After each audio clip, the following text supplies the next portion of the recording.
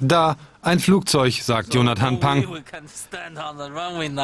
Ein kleines Flugzeug, keines von den dicken Luftfrachtern, die hier bald hereindonnern sollen.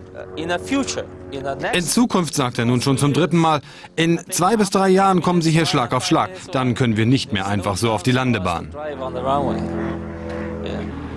Wieder nur Kleinzeug. Aber Pang ist begeistert von seiner Vision. Die großen Tanklaster sind schon da für die Jumbos, die noch kommen sollen. So, wir wollen jetzt über die Piste und dann bei Bravo. Der Feuerwehrchef hier ist jetzt zugleich Pangs okay. Fahrer. Netter Job, netter Chinese, sagt er. Ausgerechnet dieses vergessene Rollfeld bei Parchim will Pang zu einem Drehkreuz für Waren aus China machen. Hier sollen sie einschwärmen, die chinesischen Fracht-Airlines ausladen, auftanken und dann weiterfliegen, unter anderem nach Afrika. Sein Konzept passt voll in Chinas Afrika-Strategie. Das Okay der Parteispitze in Peking erwartet er für Dezember. Und in Nigeria hat er noch so einen Flugplatz. Sehnsucht nach Fluglärm in mecklenburgischer Stille. Alle wollen Jumbos sehen. Doch so schnell geht das nicht. Genau wie bei der Eröffnungsfeier. Pang lädt ein, alle sind da. Minister der menschenärmsten Provinz in Deutschland und aus der menschenreichsten Provinz Chinas der Vizegouverneur. Verträge und Fliegerabzeichen für alle. Nur die Jumbo-Landung, die klappt erst nachts. Da sind alle längst wieder weg.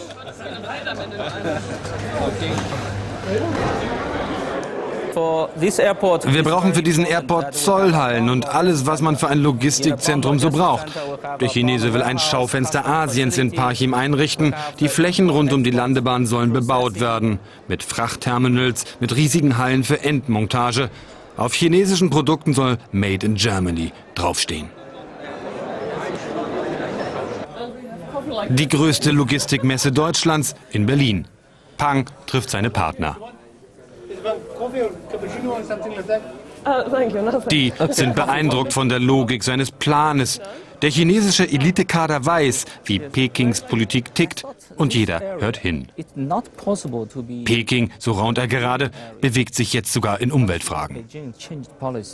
Die Art und Weise, wie Herr Bank es vorgetragen hat und die Kontakte, die wir zwischenzeitlich hatten mit unseren chinesischen Kollegen, äh, die ja auch vor Ort sind, ähm, darüber zu, nachzudenken, dass äh, China ja eine sehr, sehr maßgebliche Rolle zukünftig spielen wird.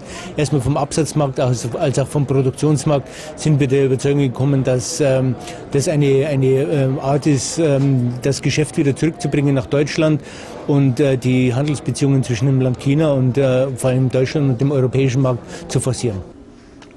Für manchen Parchimer ist der Chinese schon jetzt ein Glücksfall. Er hier ist im Logistikgeschäft. In ein paar Tagen soll ein China-Jumbo kommen. Und wie viele Parchimer will auch er, dass Pang den Lärm der Weltwirtschaft herbringt. Ob das jetzt Herr Pang ist oder irgendein anderer Chines ist. Also China ist, weiß ja jeder, ist ja aufstrebende Wirtschaftsmacht und da kommt auf jeden Fall was. Deswegen glaube ich schon, dass das jetzt hier auch seriös ist und auch die entsprechende Kraft dahinter steht. Landratsamt Parchim. Die Behörden tun alles für ihn. Sie haben ihm sogar ein Büro bereitgestellt. Von hier aus sorgt er für Fracht. Chinas Nordwest Airline will er als erstes herholen. Hier, oh der Bundespräsident, sagt er. Gerade neulich am 3. Oktober, Tag der Einheit. Ich war in China, aber er ist hier gelandet, auf dem Weg nach Schwerin zur Feier. Das Geschäft wird allmählich losgehen. Es ist nicht so leicht, aber wir sind ja schon dabei. Gelingt sein Plan, dürften die Parchimer ihm irgendwann ein Denkmal setzen. Doch bis dahin bleibt sicher noch viel Tischfliegerei.